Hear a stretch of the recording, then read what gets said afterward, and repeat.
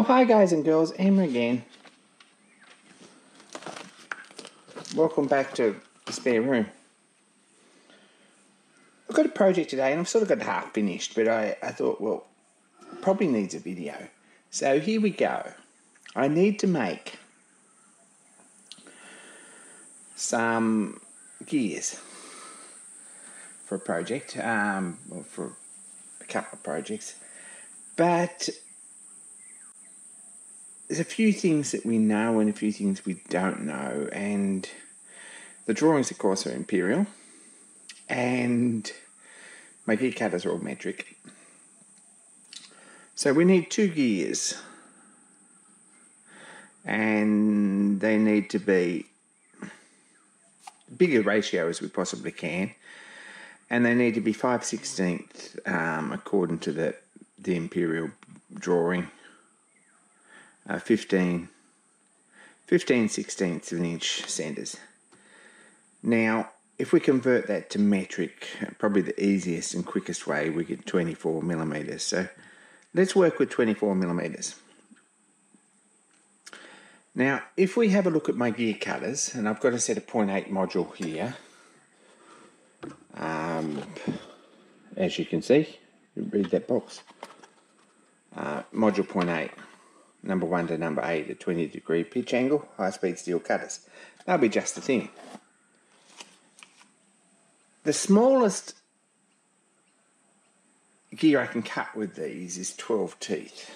So if we work on this one at 12 teeth,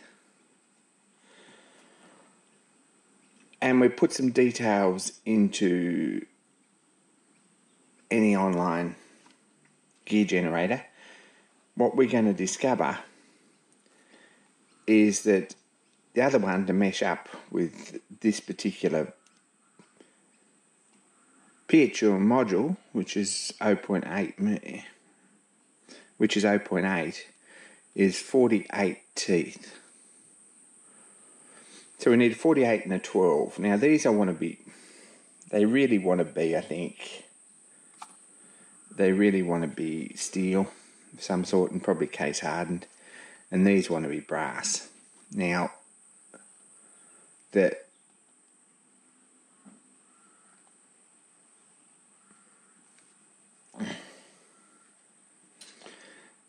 these I reckon we could make out of three millimeter brass or one eighth or whatever we can find. Now this one needs to be a little bit wider because in one instance anyway, is riveted into the centre. So let's make this 4 millimeters. So these really need to be 8 millimeters long. The best way to do these, we need a few of them, so I'm just going to make a sandwich on an arbor, even on a bolt or something like that. Screw them all together nice and cut them all at once. So 48 teeth, we can do all them in one operation. These we're going to do in a bit longer. Um, we're a bit limited for space uh, for cutting these pinions um, in the machine. Don't have a lot of room between the centre and the dividing head, which is a the way that the milling machine's set up really. So I'm going to make three or four pieces, and there's one I've done already. So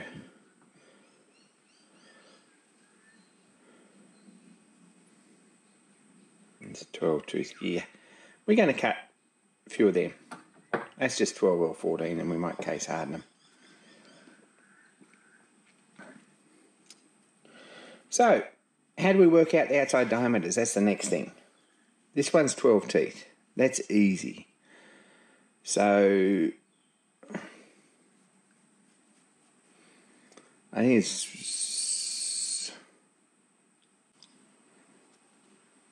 we've got 12 teeth, right, and we need to add two for module gears. So why do we add two? It's just the way it works out. We end up with 14. 14 times 0.8 is 11.2. So as easy as that. That's the outside diameter for this one. So this one's the same. Um, we've got 48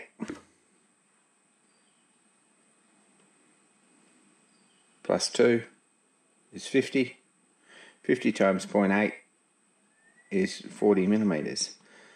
So we need to cut some blanks at 40 and some blanks at 11.2. So there we go, 11.2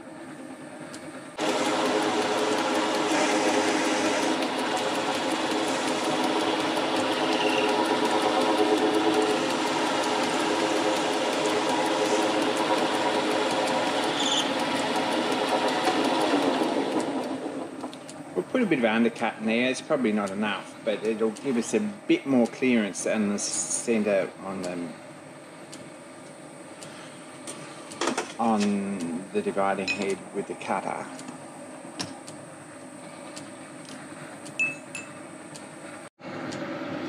So I made up a bit of a mandrel. Build these seven millimeters because they seem to be about the right size, and made these all fit.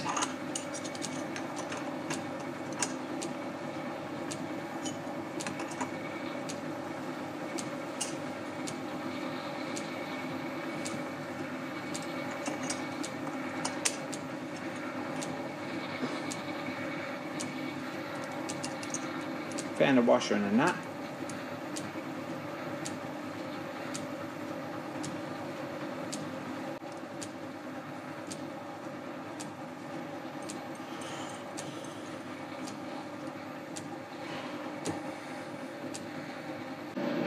Now we can machine these down to 40 millimeters. Got to fix this stupid camera gantry because the 3D printers prints are letting go and we've got this bit of wobble. I'm sorry about that but um, at some point in the near future we'll get that fixed. So we've got the 40 mil blanks here, six of them. They should be pretty easy to cut. And we've got another blank here for this one. So that's going to do us for a bit. It's probably going to need another one of these, but at this point we're not going to bother. Next job is to come over to the mill set up the dividing head and work out how deep they've got to be cut. So depth of cut, um, we're 0.8 module. So depth of cut is two times that, is 1.6 millimeters plus a bit of clearance so that when you set them on the right centers they they don't they don't bind up when they're not tight. So that's usually 0.167 times m, times your module, which works out to be approximately 0.13 millimeters. Now 1.6 by 1.6 is 1.73 millimeters is total depth of cut. Pretty simple, not much to it. So let's work out which dividing plate we need. The best way to do that is to get your black book and open it to where it says gears and on a couple of pages it's got an indexing chart for 40 to 1 and 60 to 1. Uh, 40 to 1 and 90 to 1. I'm not sure it's got a 60 to 1 one, but anyway. Um, 40 to 1. We need 12 holes. We can do that on the 39 hole centre a circle or the 27 hole centre. We need 3 and 9 27ths or 3 and a third, which means every three setups, it's going to come back to zero on the plate. It's a good way to check that. Um, so we need the 27 holes, the three three complete turns, and nine 27 holes. So it's it's the hole that is included plus nine holes. That'll give us uh, 12 for 40, which is further down here. Oh, it's right at the bottom.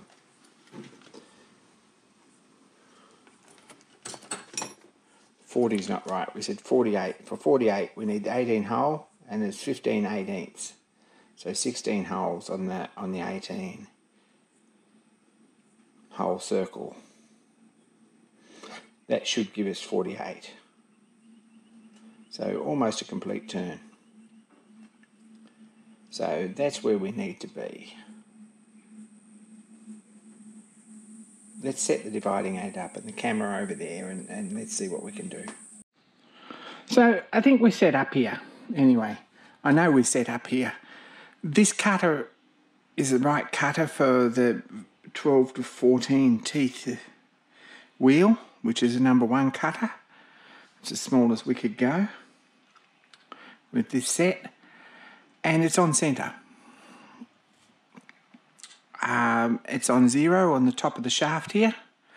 Our DRO is back on zero, and everything's ready to cut. We've got the 27 tooth Look, we've got the 27 tooth wheel on here. That's set on zero. Now this is nine holes or one third of a circle. So you've got the first space is one hole, two holes, three holes, four holes, five holes, six holes, seven holes, eight holes, nine holes. So there's nine spaces, there's ten holes. We select a speed which uh, we're running about on that there I think we're probably doing about 60 70 RPM and we'll take two cuts so let's take the first cut at 1.2 let's set up at 1.2 and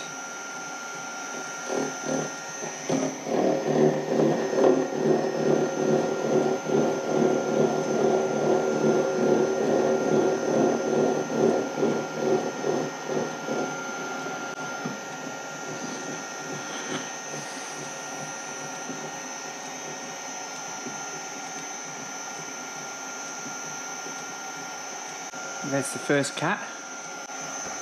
Now on our dividing wheel we want to go one, two, three, and the difference, which is the other sector here. So that's three and nine holes, or nine spaces.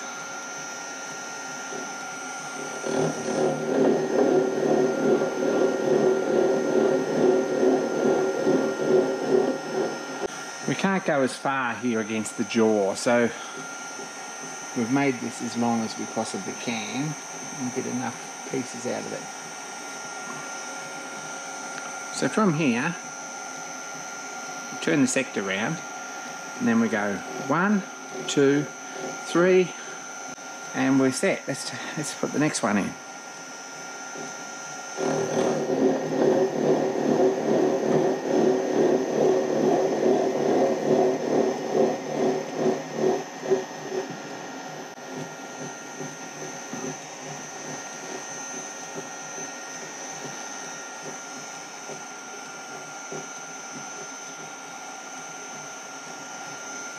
Move the sector again. And we go one two three. And there's a check. We're back here to zero again on the third one. So we've gone a third of the plate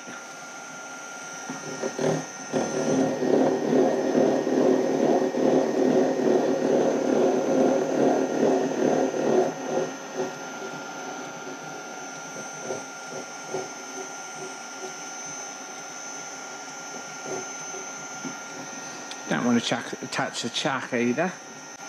Back there. Same again. One, two, three. And that hole. So that's basically what it is. They should meet up at the other end and then I'm going to run another cut through at 1.73 and we'll come back and we'll have a bit of a look at what we got. So this is the last pass. It's really pretty helpful here to put a mark on the chuck and then you know when you're back where you started, especially if you're only taking a little cut. This is just a finished cut because the Y feed on the table crept a little bit um, under load. So this is just to bring it back up to to exactly seven 1.73. And there we go.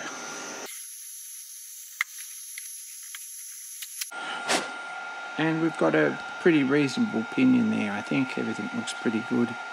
Haven't missed any teeth or anything. It all seems to be about the same. Same distance and thickness and angle and everything. And there's certainly enough there to get two 10mm pinions out of, I think. So there we go. Next job's to set this one up.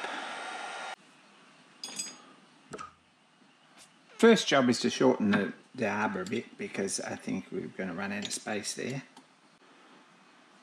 And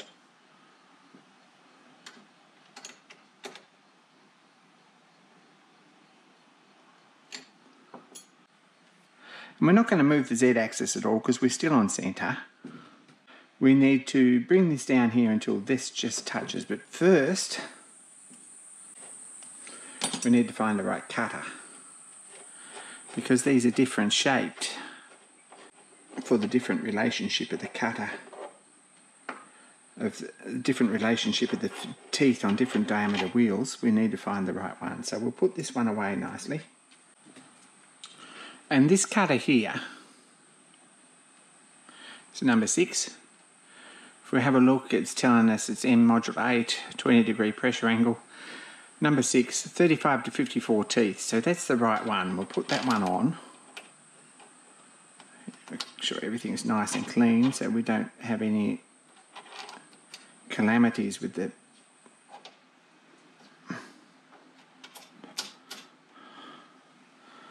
with the spacing. And that should be the right cutter for this. The next thing will be to find the height.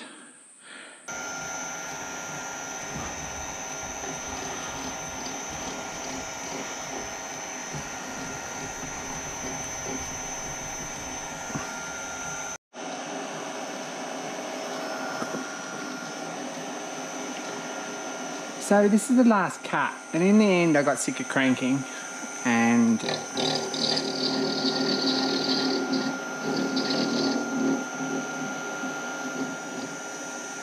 disengage the half nuts and engage the rapid reverse. So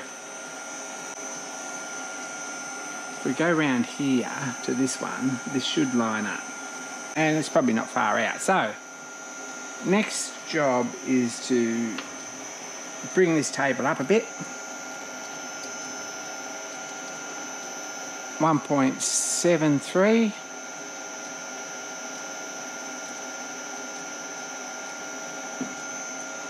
like so and that'll be full depth.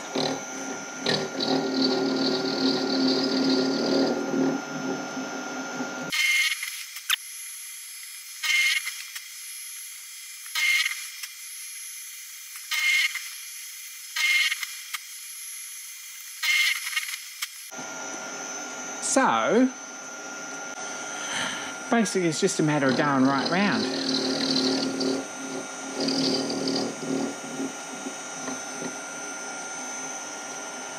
And I'm going to cut the rest of these and then I'll come back and um, might go and check the leg of lamb in the pot and or in the slow cooker and have a drink because it's really really really muggy here because there's so much moisture in the air and everything's wet.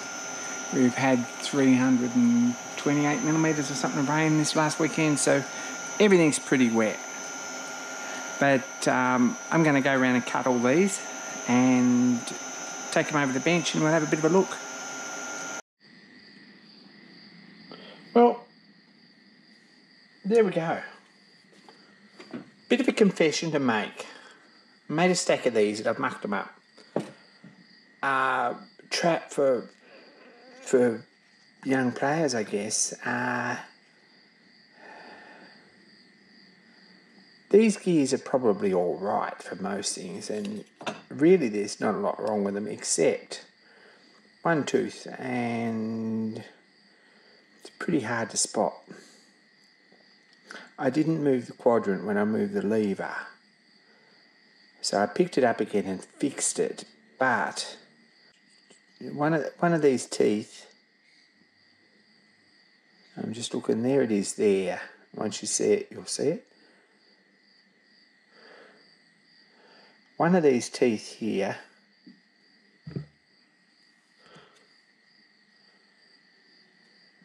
on each one because they're all stacked together is a little bit narrower than the others. They still work fine. It's just that if we put that one there together with the the narrow one there, we've got a gap between. So not a big deal. They work fine that way. They miss a tooth that way.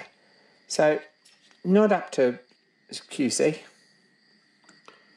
So I sacrificed two of them to fill out the mandrel and I've cut.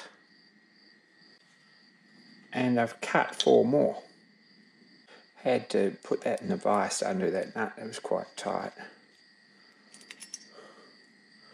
So,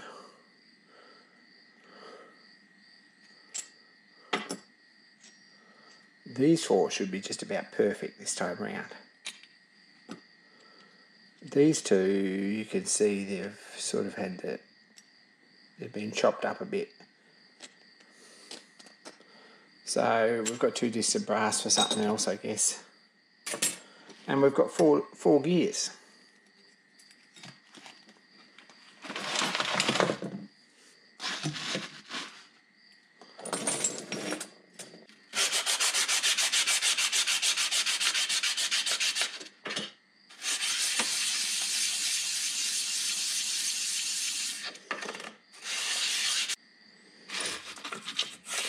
So why did I make that mistake?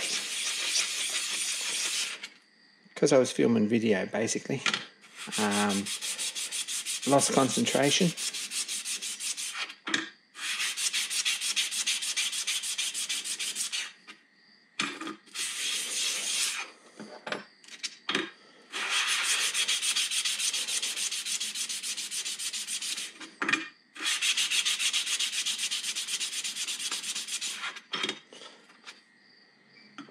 So these want a bit of a clean up, but just looking at this, they're not bad gears.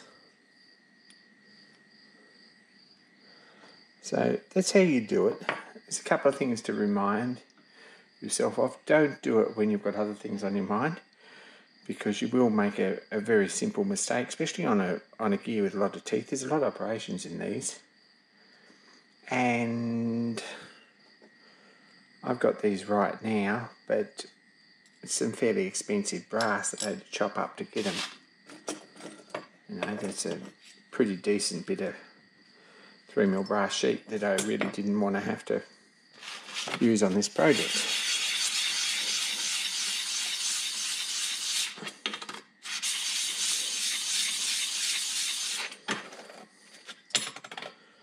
I'll get these flat. And not going to say too much about what they're for or anything yet. There's too many other projects here to finish before I start another one. And I'll be posting these off to someone. But thanks for watching. Don't forget to like and subscribe, all that sort of stuff, and more soon. Be kind to each other.